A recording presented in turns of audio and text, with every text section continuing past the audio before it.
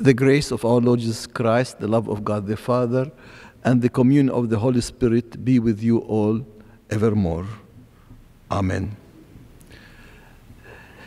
Dear sisters and brothers in Christ, first of all, I would like to thank Newber- Newberry College for inviting me, for inviting me these three days, which I consider they were outstanding days.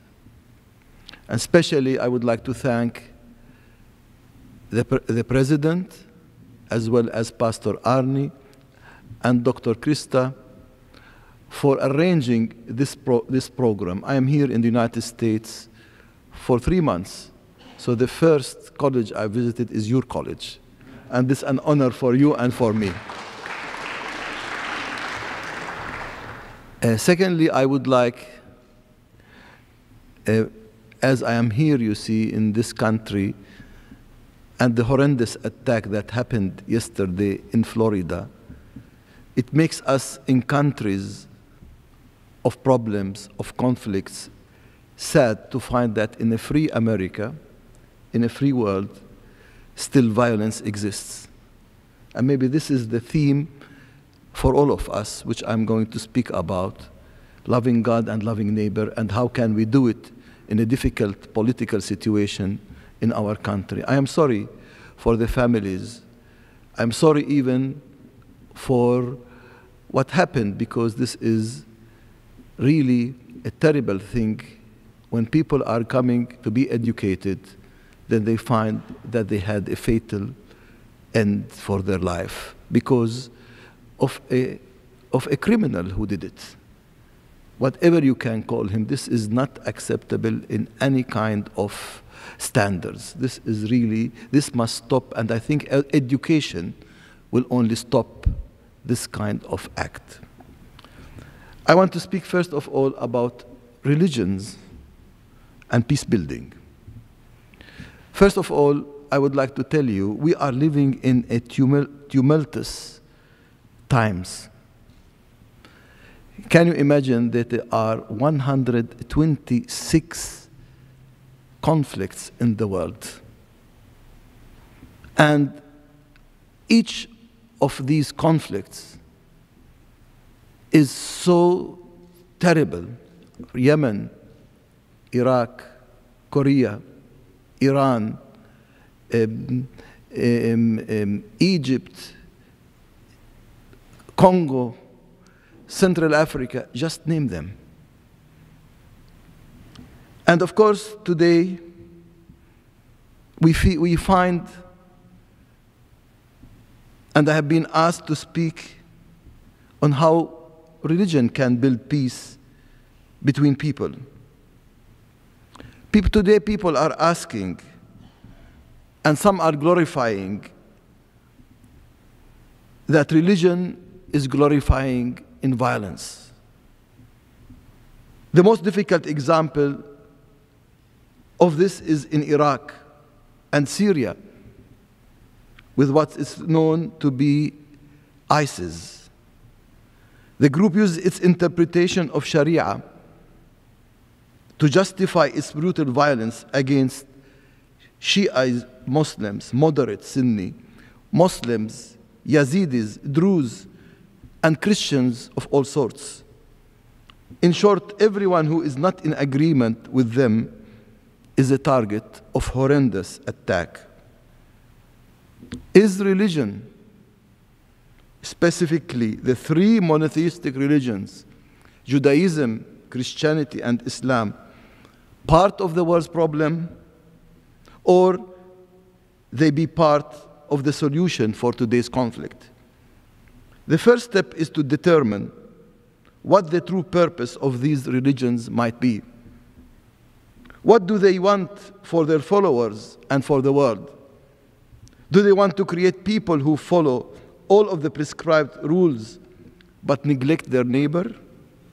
Or do these systems of life promote the love of God and at the same time the love of the other human being? You may guess that I certainly think it is the latter.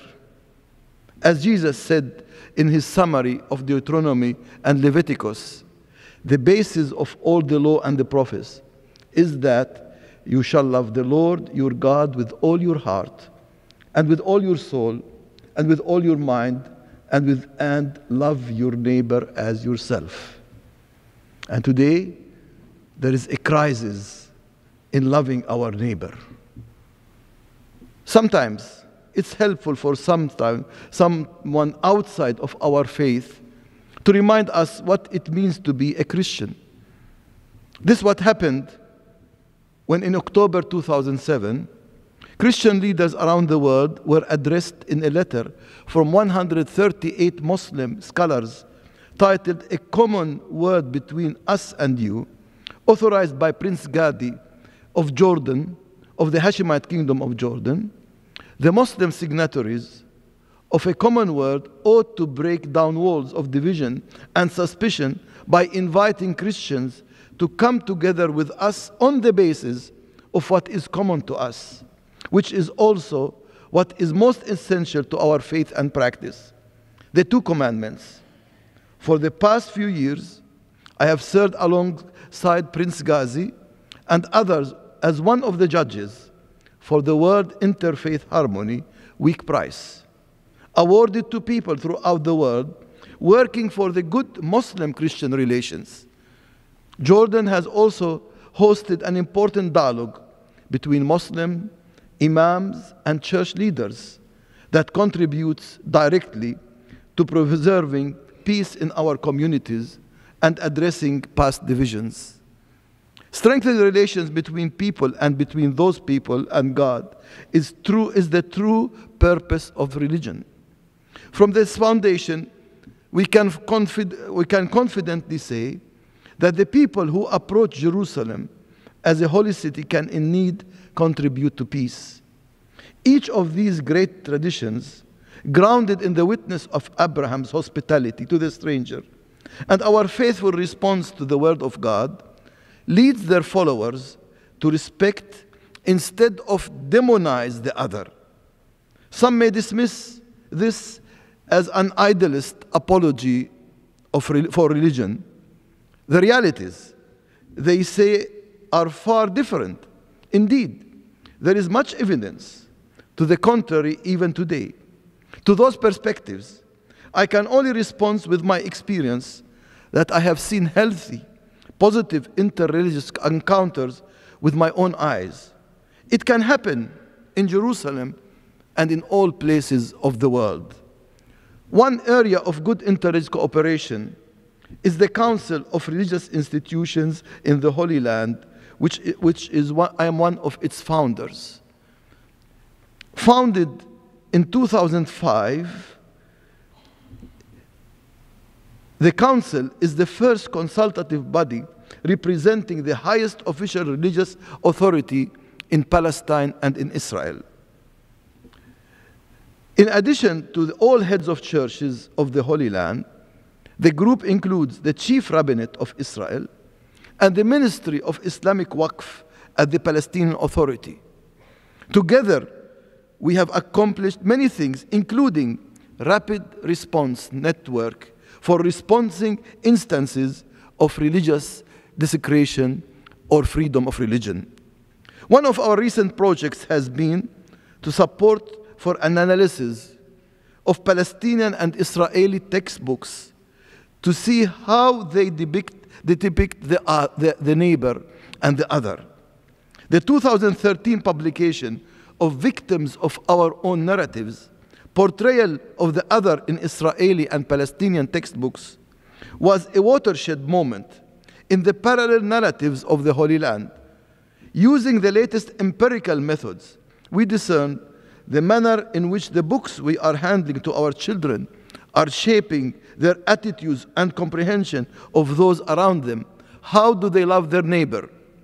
Our shared goal is for the education ministries of both Israel and Palestine to produce curricula based on mutual understanding and respect.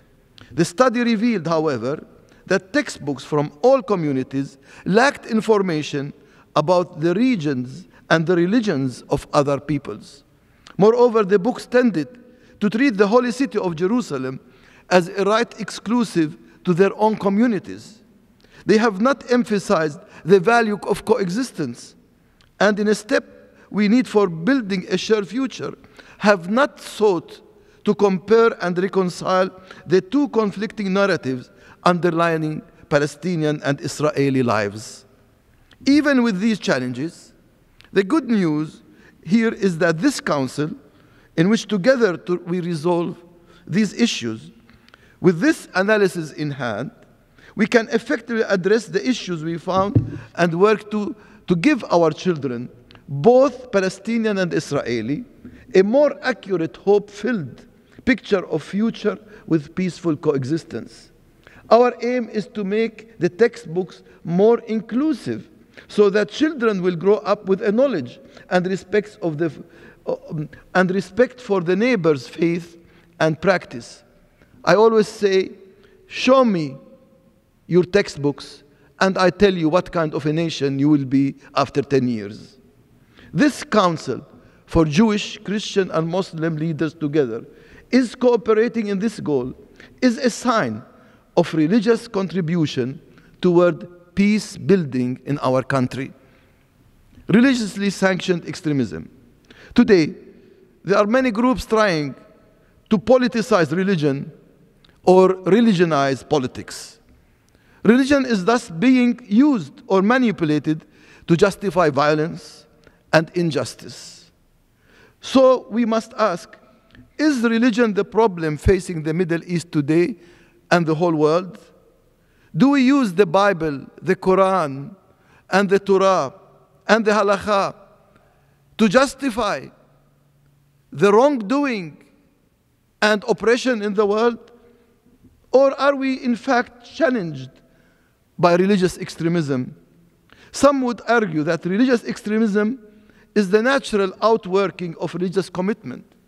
My response is that religion's extremism is, in fact, a perversion of religious commitment itself, even a perversion of the true religion.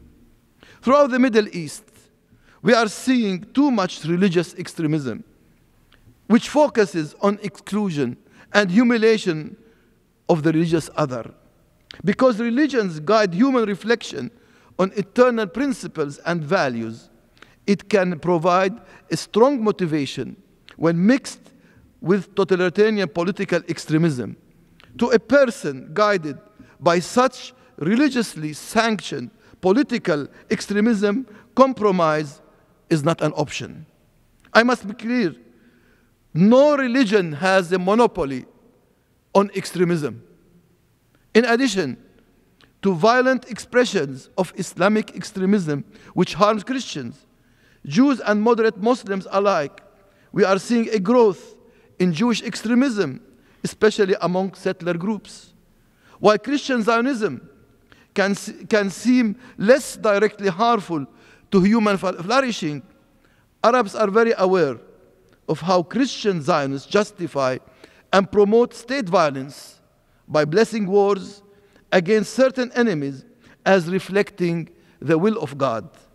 All of these forms of extremism drive us away from relationship with one another to love our neighbor, harming our shared capacity to draw, to draw, create a sustainable future in which all human communities can flourish. All of these extremism are harmful for our understanding of loving God and loving the neighbor. And those extremists are speaking in the name of God, and they are far from God and from religion. The problem is not Judaism, is not Christianity, is not Islam. The problem is when certain individuals claiming to speak for God and in the name of God, or who seek to defend God, act in ways that are contrary to the core teaching that love for God reveals itself most fully in respect of the other.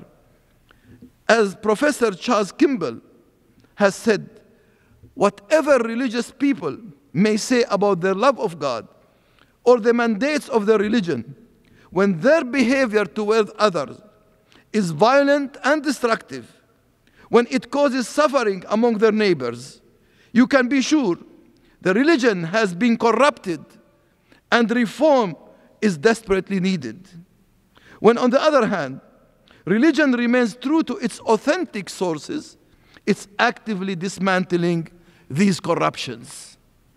Rather than calling for the elimination of religion, the proper response to religious extremism is found in greater, more authentic expressions of faith. In the Middle East, we understand that extremism very often has little to do with the true religion at all. What we see, in fact, is religiously sanctioned or religiously justified political extremism in order to achieve a particular political or economic goal. Certain leaders concord interpretation of religion which mobilize people toward that goal. We are worried about ISIS, but we are also concerned about Israeli settler violence, which justify itself with a particular political theology developed after 1967. Both systems of religious uh, thought seek to realize particular political goals. Recent events, wherever we are facing, they are sometimes structuring and institutionalizing violence.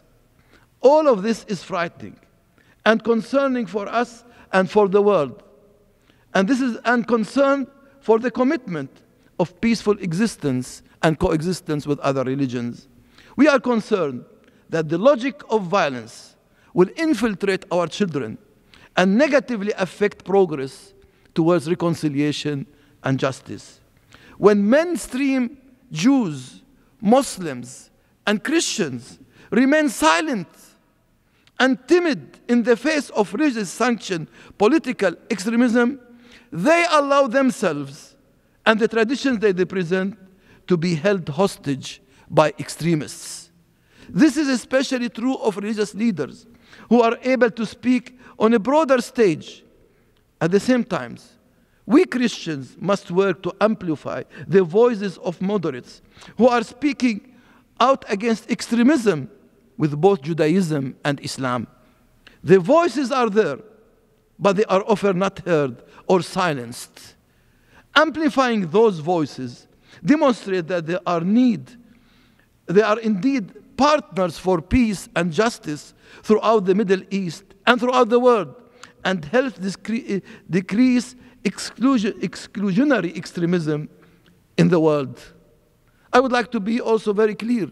When I got my Niwano Peace Prize in Japan, I told them, today the problem is that religious leaders are complicit and they don't criticize their own religion. We criticize other religions and we, we try to defend ourselves. If we want to live peacefully in this world and love our neighbor, we must first start to criticize and be a voice against those extremists in our religion, not in other religions. They are the danger for our religion. They challenge our love to God and they challenge our love to the neighbor. This is, reason, this is really a call for all of us who are religious people not to be complicit when there is extremism in our religion to condemn it quickly. Otherwise, it will infiltrate in the minds of our children. The prophetic Lord, for this, for the sake of our children, we must learn what it means to be in relationship with one another affirming our God given differences and promoting one another's God given dignity. This is a role not only for the churches, but for governments as well. As Dietrich Bonhoeffer wrote, it's part of the church's office of guardianship that she shall call sin by its name and that she shall warn men against sin. For righteousness exalteth a nation both in time and in eternity. Today, we ask the church in our world to be prophetic and to speak truth to power, to work for peace based on justice and reconciliation based on forgiveness. Today, against both religiously sanctioned extremism and popular secularism and populism, we must reclaim space in the public sphere for the voice of politically moderate religious faith. We can list many times, even in the Bible, when religion has done nothing but legitimize the political power of the day in return for support to their rulers, court theologians have been rewarded with certain privileges and benefits. On the other hand, religious conviction has also been the source of motivation for criticism and protest against unjust social structures and political powers. The Old Testament teaches us that such prophetic religion, embodied in people unafraid to challenge the order of the day, is never static or pleasing. It is also dynamic, driven by a total commitment to live in a relationship of love with God and with all the people, even the enemy. The benefits sought for by the prophetic are for all the people, not just one portion of humanity. When we seek to, to speak truth to power, we most often mean that we are addressing the structure of temporal government in our own country. Indeed, there is much to address in every context. Even in the so called developed countries of the world, including the United States, there are still many inequalities and structural injustices that need to be addressed. The debate in Europe about immigrants and refugees who are Muslim pro provides a clear opportunity to ensure that both public rhetoric and public policy are seeking the flourishing of all human communities rather than informing forms of chauvinism. The dreamers in the United States they are not danger to the United States. But why are we treating them in such a way? They have been, they have been born in the United States, working in the United States, but maybe they have illegal status. This is part of the wrong structure, the unjust structure in which we are living. And we have to address it and not be afraid of it. The prophetic response to foreign policy takes us even further beyond ourselves, asking if perceptions of national security and national interest truly justify the harm our action in our countries may cause. How specifically our Christians more forcefully address the excesses of other global powers? How can the American Christians more forcibly address the excess of the global power? But in today's context, religious moderates must be prepared to stand against religiously identified extremists. Just as in the Middle East, extremist groups are growing in the world. They target vulnerable groups like recent immigrants, claiming to defend Christianity. These extremists are harmful. Many Christian Zionists see support for Israel as a step defending against or defeating Islam. The militant way of thinking has no place in our Lutheran traditions and in our Christian traditions. These forms of extremism deserve a sustained response from the church and its people at every level of society. We must call such perversions of religion just what they are and not be ashamed of it. I am one of those who has called, you know, the unjust understanding of certain Christian Zionist group to be a heresy for us as Lutherans because they divert our understanding from loving God and loving the neighbor in order to implement, according to them, God's plans, where it is their own plans, their own their own sick scenarios, sick ideology in our earth, and they promote injustice in our world, which is against God's will. Through our schools and our churches, we seek the, to counteract all forms of hatred, including Islamophobia and anti Semitism and xenophobia. As I said earlier, the conflict in the Middle East are not driven by religious passion alone. In Israel and in Palestine, our disagreements are not driven by eschatological or biblical feelings. It's a conflict about land alone. It is a political conflict, not a religious conflict.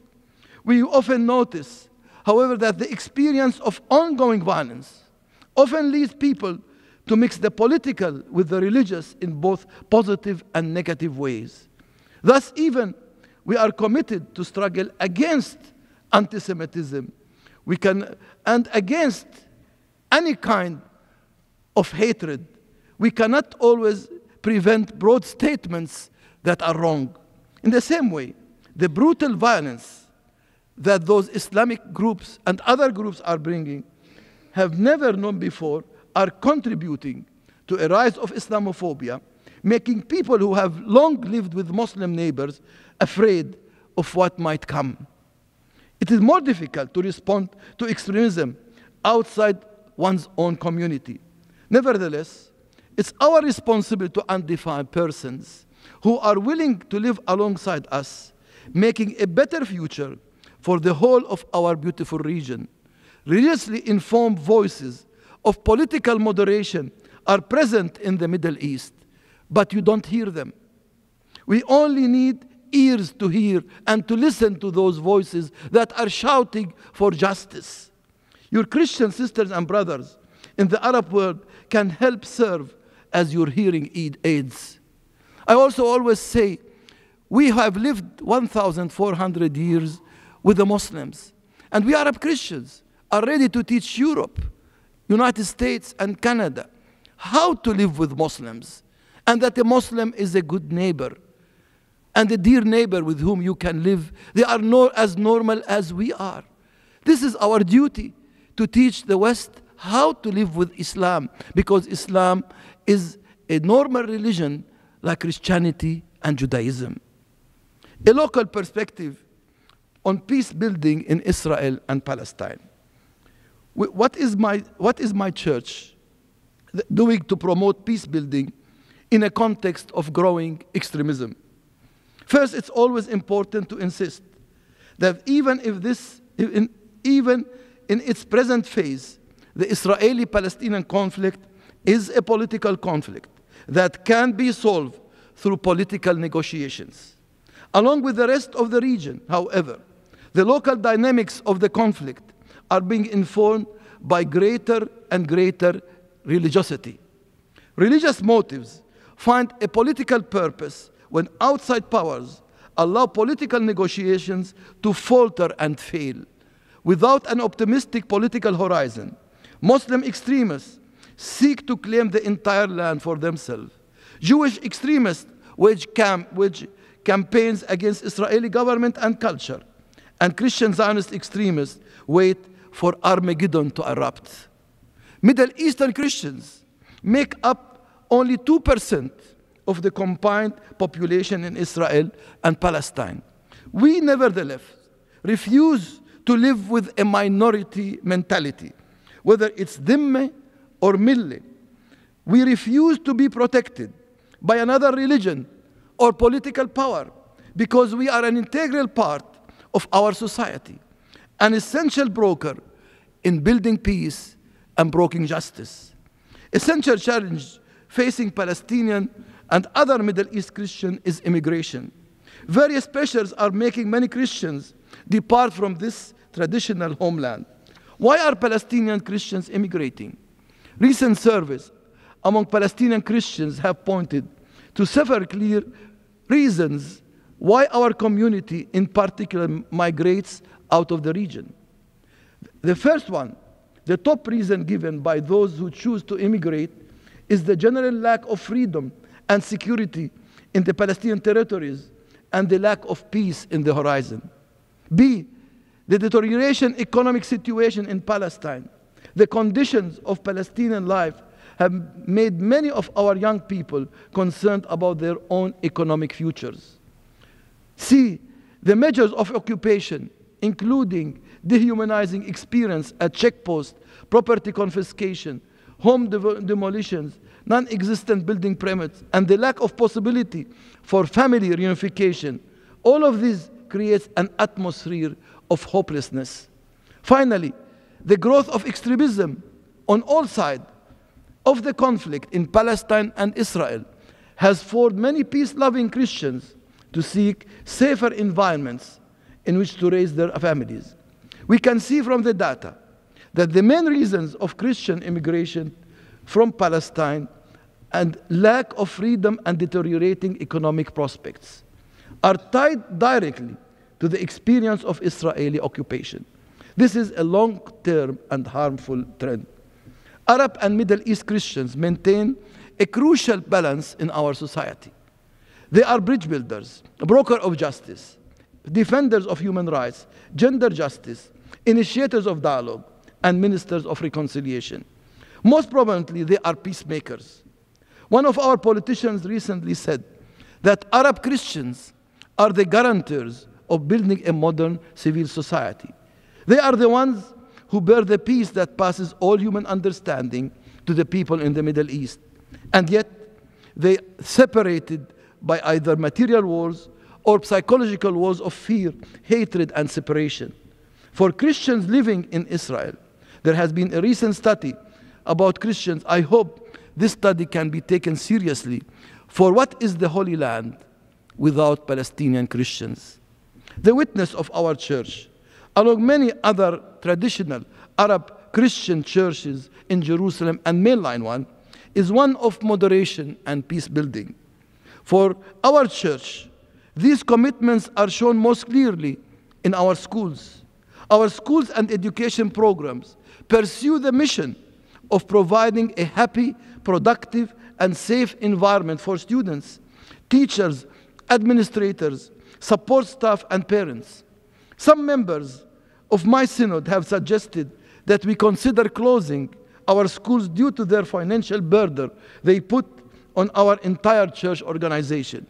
My response is always to emphasize that the direct mission of the church in Jerusalem is in our educational ministry. Is accomplished through our schools. Through schools, we impart the evangelical ethos in the Palestinian context, meaning we mold the Palestinian identity of our youth, teaching Muslim and non Lutheran students that Christians and Lutherans are an integral part of Palestinian society. We teach our youth to live with other faiths, especially the faith of our neighbors, with a focus on Islam, Judaism, and Christianity. We provide peace education, teaching our children the tools for creative and life affirming resistance for dehumanizing powers and dialogue to pursue peace with justice in a non-violent way. Or as I always say, we teach them to use the muscles of their brains, not the muscles of their arms. We promote the role of women in our, in our society and in our church. We provide quality education that equips people for life's many challenges we mold the future Palestinian civil society by valuing diversity and promoting democratic participation. Today, in our schools, we have nearly 3,000 children. Gender balance continues to be a strong emphasis with all the students in our co-educational framework. There are, there are nearly 70% of our students are Muslims and 30% are Christians. We reject any efforts to convert our students who are non Lutherans or Muslims. Our mission is to convert our students from extremism to moderation. This is an evangelical call. Through the, through the Luther, though the Lutheran Church is small in our country, one out of the six Palestinian Christians shaped their thinking in one of our school programs. We are small, we nevertheless make a vital contribution to the future Palestinian Christianity. The positive investment we make in Palestinian society through the ELCJH schools is directly related to my church's contribution towards peace building in Israel and in Palestine. These steadfast commitments will hold even if meaningful steps toward resolving the Israeli Palestinian conflict continue to not succeed. We all know that no framework of final status agreement can succeed without willingness. All of us in Palestine and Israel must ask ourselves how much we want peace. Through our educational efforts, we are helping to form generations of leaders who faithfully seek peace based on justice. If we take faith in our God seriously, the answer from every person in Israel and Palestine should be a resounding yes. What sort of peace do we seek? I will speak in terms of Lutherans, including many of you in these statements. Lutherans advocate for a two state solution based on 1967 borders. We believe that Jerusalem should be shared by the three religions and the two nations. We seek a viable political solution to resolve the right of return of the refugees. Finally, all parties in this conflict must admit to their part in perpetuating the conflict and be willing to seek painful and honest reconciliation and justice. Once this acknowledgement is there, then we can find just solutions. We strongly believe, we strongly believe that the settlements should end. If there is peace, Palestinians and Israelis must learn to share natural resources, especially water. The sharing of resources can be foundation of economic growth and prosperity throughout the regional cooperation. Regional cooperation is essential if we are seeking the flourishing of all communities in the Middle East, for Jews, Muslims, and Christians alike. For the Arab and Muslim countries, the core conflict in the Middle East is the Israeli Palestinian conflict. One of these, once this conflict is resolved, the way will be easier toward regional cooperation based on the Arab Initiative of 2002. In that declaration, the existence of a sovereign state of Palestine would result in 57 Arab nations formally recognizing Israel's right to exist. 57 nations, including Iran, Pakistan, Afghanistan, and others. For many of you, this may sound too good to be true, but this is the offer on the table at the moment. People often ask me if I'm optimistic or pessimistic about these political concerns. I answer that I am neither pessimistic nor optimistic, but I am hopeful. I'm hopeful with peace, that peace with justice and reconciliation based on forgiveness are coming. Hope has risen in Jerusalem. It does not come out of Washington, D.C., or Berlin, or London, or Paris. As long as I live, I will teach people to see the image of God in the Israelis and to teach the Israelis to see the image of God in me, the Palestinian, so that we might together be transformed and celebrate a diversity among ethnic and racial groups. When we do this, we will accept the humanity of the other. Thus, we will recognize each other's human, civil, religious, and political rights. When this happens, then the Holy Land will truly become a promised land of milk and honey for both Palestinians and Israelis alike. When, we, when will we allow this to happen? I promise you that religious leaders cannot bring peace to the Palestinian Israeli conflict. But peace cannot come to the Middle East without the active involvement of religious leaders, Jews, Christians, and Muslims. It's now time for peace based on justice. If we do not achieve it now, none of us will be winners. All of us will become hostages of extremism. Jerusalem is very important now to address. And I want to speak about Jerusalem now because I think, you know, this has been the recent, you know, uh, the recent political uh, agenda in the United States and in the whole world. Jerusalem should be a shared city for the two nations and the three religions. Lasting peace in the Middle East is contingent upon the birth of peaceful coexistence between peoples in Jerusalem. The holy city, the heritage of humanity, and it's now a city of two peoples, Israelis and Palestinians, and three religions, Judaism, Christianity, and Islam. It is dear for the three religions and the two nations. The best solution is for Jerusalem to be shared by two sovereign countries, the state of Palestine and the state of Israel, and the three religions, Judaism, Christianity, and Islam. Jerusalem can and should be the capital of both nations. Jerusalem has a unique character that distinguishes it from all other cities of the world, a character which surpasses any local political sovereignty. As the patriarchs and heads of churches in Jerusalem have written, Jerusalem is too precious to be dependent solely on a municipal or national political authorities. This is the reason we say that the historic status quo of Jerusalem should never change. And this is the way we say that Jerusalem, that Jerusalem, that the holy places, the custodian of the holy places in Jerusalem is the Hashemite king, king of Jordan. Jerusalem's two people are the guardians of her sanctity and carry a double responsibility to organize their lives in the city and to welcome all pilgrims who come from around the world.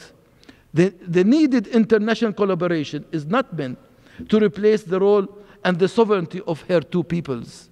It is rather needed in order to help both peoples to reach the definition and the stability of the special status of Jerusalem. That is why, concretely and from political, economic, and social point of view, her two peoples must bestow Jerusalem a special status that corresponds to her double character holy and universal, ordinary and local, where daily life unfolds. Once this status has been found and defined, the international community is required to confirm it with international guarantees that will assure continuing peace and respect for all. The components of this special status must include the following elements.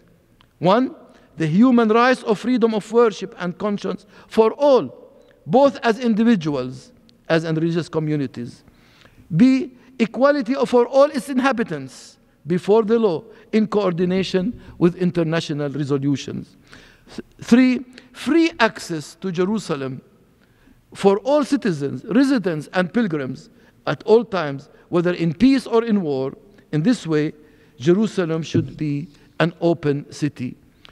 Peace in the city of Jerusalem cannot come from party alone, cannot come from announcements from Washington. Muslims, Christians, and Jews must together collaborate toward an agreement based on mutual respect and open dialogue. The Council of these institutions in the Holy Land will have an important role to play in this, in this process.